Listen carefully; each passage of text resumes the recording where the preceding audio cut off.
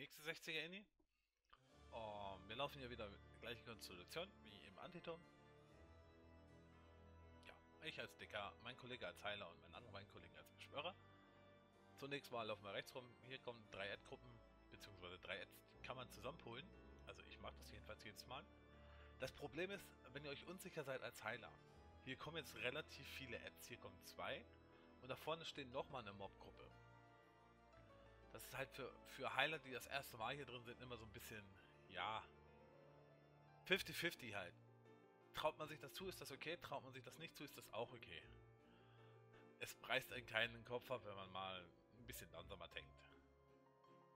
In meinem Fall bin ich das halt gewohnt mit meinem Tank, das ist meine gewohnte Umgebung. Ihr seht auch, dass das Video schneller läuft. Man muss ja nicht mit langweiligen Details langweilen, wenn es auch schneller gehen kann. Drei, zwei Schattenflammen. Reinstellen, Möpse werden langsamer, machen weniger Schaden und wir können das Schaden austeilen. Zwei Beschwörer halt, ne? Da, halt mich, da hat mich auch der Heiler mit Steinhaut gehautet. Und da kommt auch schon der nächste Mob, und zwar eine Morburanke. Es gibt sogar Ads, da wird sogar eine Morburanke neidisch auf die Statusveränderung. Also das ist ein kleiner Running Gag nebenbei. Weil eine Morburanke, wenn die einen falsch, wenn man die falsch anguckt, kriegt man jegliche Stacks. Eigentlich, was es an Statusveränderungen nur so geben könnte, aber da fehlen ein paar. Wie gesagt, runterkloppen, weiter rennen.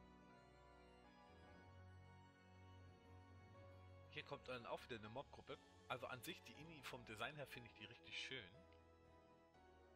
Aber heutzutage, also in den 70er Verhältnissen, überspringt man meistens die Ads.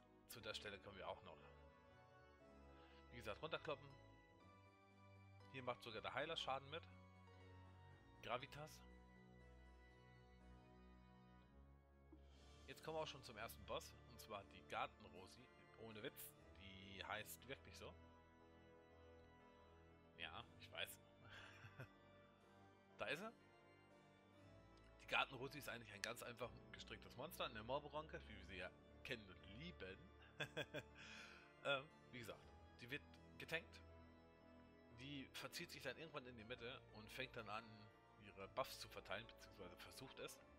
Sie haucht in eine Richtung und dann dreht sie sich entweder im Uhrzeigersinn oder im Uhrzeigersinn dagegen halt. Im, ja, im Gegenuhrzeigersinn. Wie gesagt, aber erstmal runterkloppen. Jetzt gleich kommt auch die Technik. Das war im Prinzip der Tankbuster. Hier ist sie. Sie haucht jetzt nach, äh, nach rechts hier zu meinen Kollegen. Da sieht man das Feld. Und jetzt muss man darauf achten, in welche Richtung dreht sie sich. Jetzt dreht sie sich entgegen des Uhrzeiger... Äh, des Uhrzeiger äh, sie dreht sich jetzt in den Uhrzeigersinn, also zu mir. Da kommt sie auch schon an. Die kleinen Ärzte kann man ignorieren. Die einfach ausweichen. Weiter Schaden auf die große Kloppen machen. Jetzt kommen jetzt Hagel... Hagebutten kaputt machen. Ganz wichtig. Wenn die explodieren, gibt es Schaden. Äh, das war wieder der Tankbuster, der Rankenstrich, äh, Stich, Strich, ähm, ja, ne? Wie gesagt, Tankbuster. Jetzt macht sie wieder ihren schlechten Atem. Gucken, in welche Richtung sie sich bewegt. Jetzt bewegt sie sich gegen den Uhrzeigersinn. Ja, sonst wäre sie schon lange da. Kaputt machen, wie wir das ja schon besprochen haben. Damage drauf, Damage, Damage, Damage, Damage. Gartenrosi. Ja, da wurde zum Beispiel der eine Beschwörer getroffen, hat Paralyse, Gemach und Gift gekriegt. Das wird aber weggehalten mit Exil. Äh, Exil gibt es heute nicht mehr bei Stormblood. Es heißt Medica und ist ein Rollenskill. Aber dazu werde ich mal mehr machen. Das war eine sehr kurze Hauchaktion. Tot ist sie. Das war auch der erste Boss. Gear gibt es hier 295er, äh 195er, 295, alles klar. Dann wäre ich nur in der Ini. Wie gesagt, die Möpse kann man zusammentanken mit den Ameisen hier unten. Ganz einfach. Damage drauf machen, kennen wir alle. In dem Fall ist der Heiler links, äh, ist der Heiler zur, will der Heiler zur Schatzkiste laufen. Oder ich war glaub, oder er war schon an der Schatzkiste. Ich habe einen Mob verloren. Beziehungsweise ein paar mehr. Und ich check das gerade nicht. You can touch me. Mein Mob zurückholen und dann zurück in die Schattenflamme ziehen oder versuchen zu ziehen. Eins ist der Überlebende drauf, weil ich kaum Mana noch habe.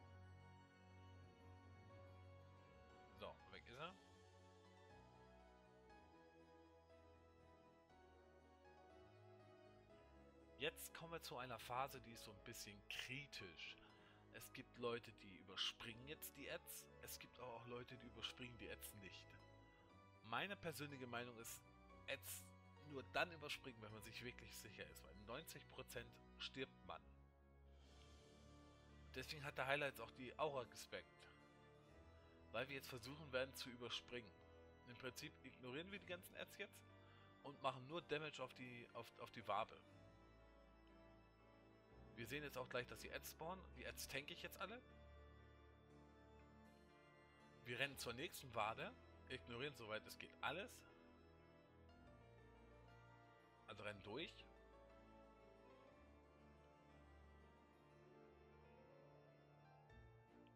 Und hauen wieder auf die Wabe. Und jetzt kommt der Knackpunkt. Da ist eine Hornisse und hinter uns spawnt auch eine Hornisse. Und wir wissen alle, was passiert, wenn Hornissen zustechen. Man verliert sein Life, ob man will oder nicht. Deswegen nehme ich jetzt die, äh, die, Füße, in die, die, Hand, äh, die Füße in die Hand und bewege mich ein wenig, damit die weiter auf die Warte kloppen können und ich die Hornissen habe. Weil die Hornissen ab einem bestimmten Radius machen die keinen Schaden mehr. Also stechen die dich nicht, weil du dann nicht mehr da bist. Das wissen die wenigsten. So, jetzt ist die Wapenwand kaputt, meine Kollegen laufen los. Der Heiler und ich jetzt hinterher. Und wenn wir jetzt springen, dann bleiben die Hornissen da oben. Also die Ads stehen im Prinzip da oben und machen nichts mehr. Und wir können jetzt fröhlich und gemütlich auf die Ads rumkloppen. Mein Kollege Steinhautet nochmal.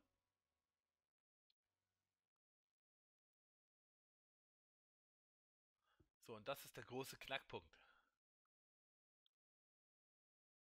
Oft stirbt man daran. Bei dem Boss ist eigentlich nur zu beachten. Damage machen, ausweichen, gleich am Rand kommen zweimal zwei, äh, zweimal vier Reihen Ads. Da ist schon der eine. Und auf der anderen Seite, beziehungsweise sind schon alle acht da. Diese Ads-Formo äh, äh, stellen sich später in eine Reihe und dann schießen sie übers Feld. Nicht da drin stehen bleiben. Jetzt versammeln sie sich, beziehungsweise machen erstmal ihren Einzelschaden Jetzt heißt das im Prinzip ausweichen. Für Baden zu der Zeit eine echte Krankheit.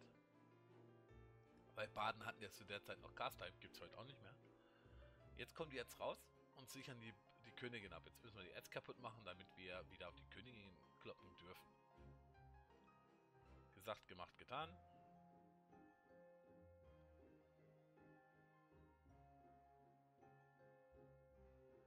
So, am Rand spawnen wieder neue, aber Aufbieter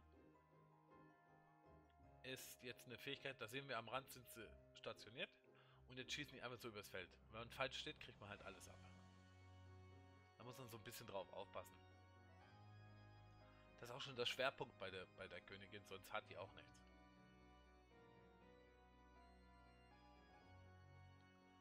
Ein bisschen Schaden machen. Halt ausweichen.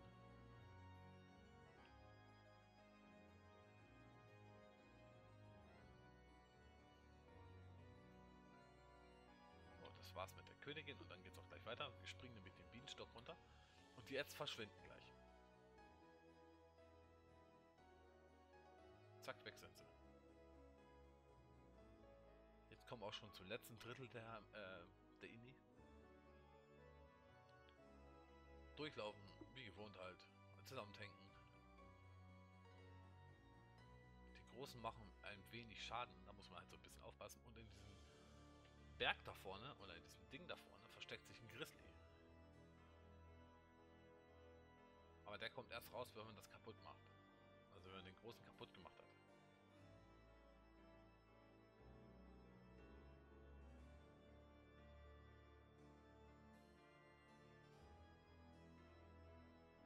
Warten mal kurz und machen das mal alles fix kaputt hier. Akku habe ich auch verloren.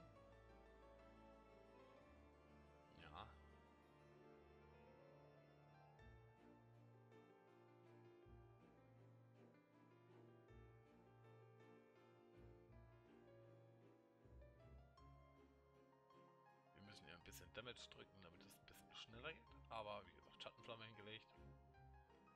Sobald die jetzt fallen, geht es gleich weiter.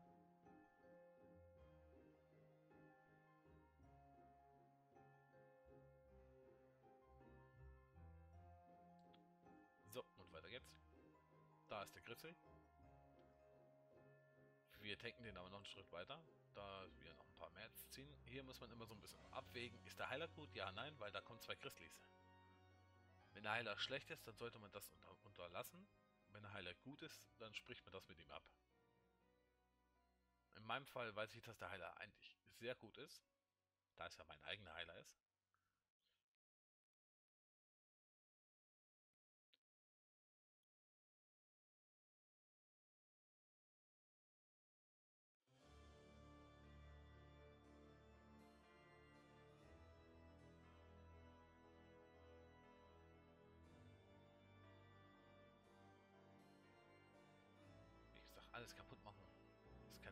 Wir zwei Beschwörer. Ich bin zum Beispiel, ja, in der, in der Hinsicht habe ich es wahrscheinlich verpeilt. Ich wollte die Leute in die Schattenflamme zu tanken. Weil in der Schattenflamme werden die Maps langsamer. Und ich hab's verpeilt. Aber passiert. So, jetzt kommt die letzte Mobgruppe. Rechts hier. Das ist eine Dreiergruppe und dann sind wir auch schon beim Endboss.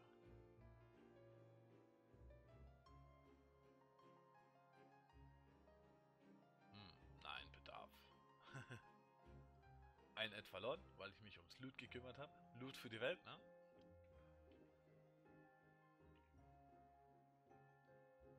Der Baum sollte eigentlich immer zuerst fallen und dann die kleinen.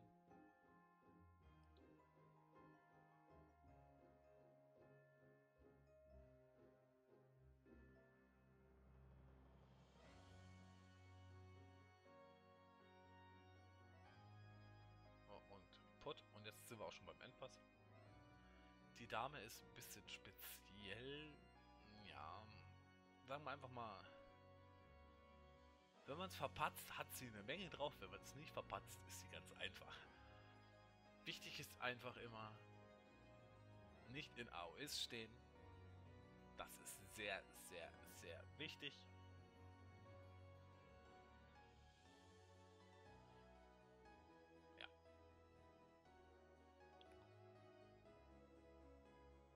Dann geht es auch schon los. Der Heiler hat nochmal seine Karte verteilt. Nochmal durchgesteinhautet. Die tankt man halt einmal weg von, von der Gruppe und gleich, gleich bleibt die halt nur noch eigentlich im Prinzip in der Mitte. Bei der Technik ab in die Mitte, bei Absorption steht man draußen, kriegt sie live wieder. Seelenvakuum ist eine Technik, die macht jetzt ist, ist ein AOE, aber macht jetzt nicht so viel Schaden. Bleibt man jetzt allerdings in so einer Knospe stehen, hier in eins dieser Auefelder macht die Technik mehr Schaden, weil die Knospe gibt einen Debuff. Und mit diesem Debuff kriegt man mehr Schaden. Fan Fantale beim Auge ist logisch, weggucken. Ke sollte man kennen. Wer das nicht schafft, ja, der müsste nochmal zur Grundlagentraining. Bei den Marks auseinander, niemand zusammen, aber überleppen dürfen sie sich, nur nicht in zwei stehen. So, im Prinzip geht das Ganze jetzt von vorne los. Es werden mal Knospen. Ich bin näher, ein bisschen näher rangegangen. Seelenvakuum, keiner von uns hat einen Stack.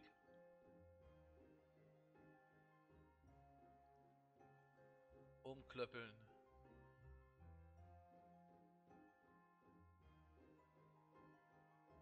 Da hätte ich fast eingekriegt, weil ich gepennt habe.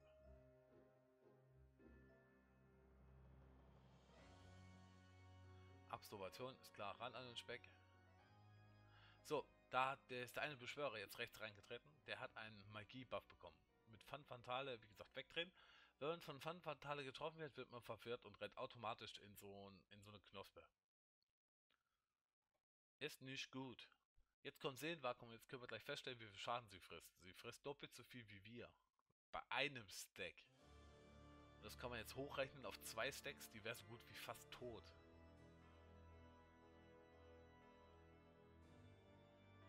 Hier die Ads wegmachen. Die können, soweit ich mich noch erinnere, explodieren. Aber in unserem Fall war es das auch schon. Ja, viel Spaß damit.